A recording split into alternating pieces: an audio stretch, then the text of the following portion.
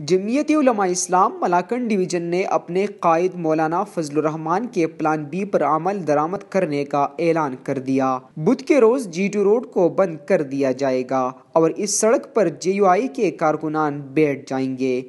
یہ plan be پورے ملک میں ایک ساتھ شروع ہوگا۔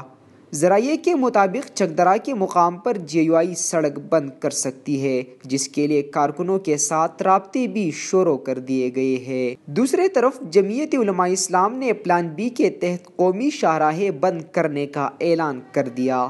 اسلام آباد میں آزادی مارچ کے شرکا سے خطاب کرتے ہوئے مولانا عطا الرحمان نے اگلے مرحلے کا اعلان کرتے ہوئے کہا کہ پلان بی پر عمل درآمد شروع ہو چکا ہے۔ سندھ بلوچستان اور خیبر پختونخوا میں اہم شاہراہوں کو بلاک کیا چکا ہے، جبکہ بلوچستان میں چمن کوئٹہ شاہراہ پر دھرنا دیا گیا ہے۔ مولانا تو الرحمان نے کہا کہ کل دوپہر دو بجے سے خیبر پختونخوا کو راول پنڈی سے ملانے والے اہم شاہراہوں کو بند کیا جائے گا، جبکہ پنجاب میں بزدار شاہراہ کو بھی بند کیا جائے گا۔ شاہراہ ریشم کو بھی بند کر دیا گیا ہے۔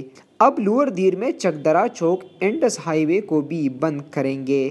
کل سے کراچی میں ہبریو روڈ سکر میں موٹر وے، گوٹکی سے پنجاب میں داخل ہونے والے شاہراہ اور کند کوٹ سے پنجاب میں داخل ہونے والے راستے کو بند کر دیا جائے گا۔ Aqib Raza, Swat news dot com, Swat.